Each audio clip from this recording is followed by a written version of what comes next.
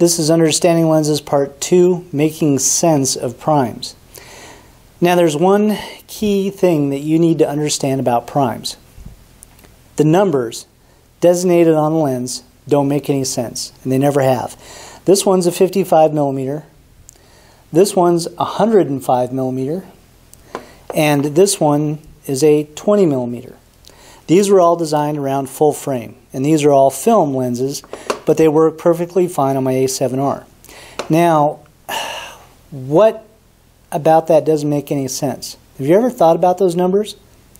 The 105 millimeter designates 105 millimeters. That's how wide that would be. Or the 55 millimeters designates 55 millimeters. Or the 20 millimeters designates 20 millimeters. That doesn't make any sense because it's the exact opposite the way camera manufacturers come up with those numbers, and this is this goes back to the beginning of equipment sales in the late 1800s, early 1900s, is from the convergence of the lens to the film plane designates that number. So 55 mil millimeters means 55 millimeters from where the lens, the light comes through the lens and crosses over itself. From that point to the film plane is 55 millimeters. So the same thing with 105 and with 20. It has nothing to do with anything else. When they came up with these numbers, the cameras back then had massive bellows on them. And they were usually in formats that were like 8 by 10 or 11 by 14, somewhere around there. And uh, they weren't very portable, they were in the studio. And all they knew was the more distance from the film plane to the convergence of the lens meant more telephoto. So the farther the bellows out were, the more you're going to get into a portrait lens. That's what they were looking at back then. Had really nothing to do with anything else. We still use these numbers today, which is absolutely stupid. Camera manufacturers should have learned at this point to just switch over to an easier system designating the viewing angle that these lenses were designed for. In this case, we've got three standard primes that I would carry with me if I were traveling. And I've got a 55 millimeter, 105 millimeter, and a 20 millimeter. This is all on full frame DSLR. So the viewing angle of these, the 20 millimeter is 94 degrees. That's this wide. So if I'm doing an architectural photo shoot, the first thing I do is I walk into a room or I look at a space and I measure my distance, trying to figure out how much information I want to get in the lens. And when I hold my arms out like that, I know it's 94 degrees. I no longer see this as 20 millimeters. I see it as 94 degrees.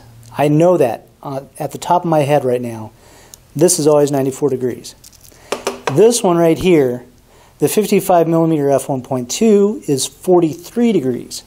So I know instantly 43 degrees is going to be something like this right here. And I know the fact that when I'm using it, that's what it's going to be. 105 millimeter, this is actually 18 degrees. So, at, well, closer to 24, 18 on APS-C size, sorry. So 18 degrees would be somewhere around here. This is what I know I'm going to get. You know, probably from here and then portrait, it's perfect portrait lens when you think about it. So I know that doesn't make any sense, but right now I am filming this on a Sony a6000 with a Sony 28mm f2 and that has a view angle of 54 degrees on that format. So 54 degrees is a very normal focal length to be seen on. So I don't look distorted, the room's not zoomed out or anything like that this is how I look at lenses before anything else, is what the viewing angle is. And unfortunately, it's never printed on the lens. Now, when you decide to use a lens on different formats, you think of the viewing angle as the same way. This one right here would be 21 degrees on micro four thirds and 32 degrees on APS-C size. It's just knowing what the actual viewing angle is. And that's how those lenses should be sold for their formats. If this, if this is a full frame format, it should say it has a viewing angle of 24 degrees.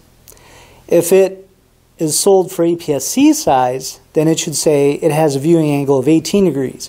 Why don't they put this on the actual lens itself? Never made any sense to me at all because that's the first thing I think about is the actual angle of view. I hope you guys like this video. I hope you found this information useful. Uh, you guys have a good day. We'll talk to you later. See ya.